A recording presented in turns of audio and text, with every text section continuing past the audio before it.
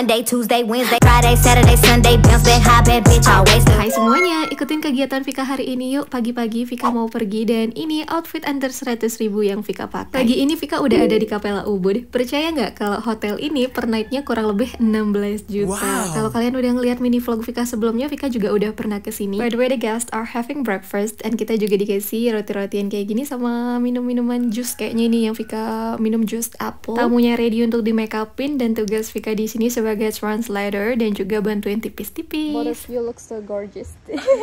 Karena proses makeup sama ganti pakaian udah selesai, sekarang lagi nyari spot untuk photoshoot. Untungnya kamarnya nggak terlalu yang ke bawah kayak waktu pertama Vika ke Capella, tapi tetap aja naik turun tangga. Spot foto selanjutnya ada di area pool yang pemandangannya indah banget sambil Vika ala-ala chill and relax. Padahal ini lagi kerja tapi nggak apa-apa sambil kita nikmati, bener nggak teman-teman? Setelah ini kita bakalan naik untuk photoshoot di area atas. Cuaca hari ini bener-bener unpredictable. Tiba-tiba panas, habis itu tiba-tiba hujan gerimis, tapi tidak menghalangi kegiatan hari ini. Oh yeah, we need to move.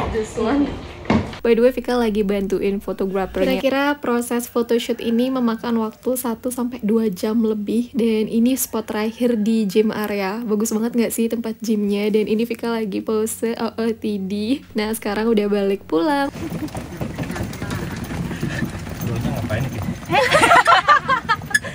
Makasih banyak ya buat teman-teman yang udah nonton mini vlog ini sampai habis. See you in another video, bye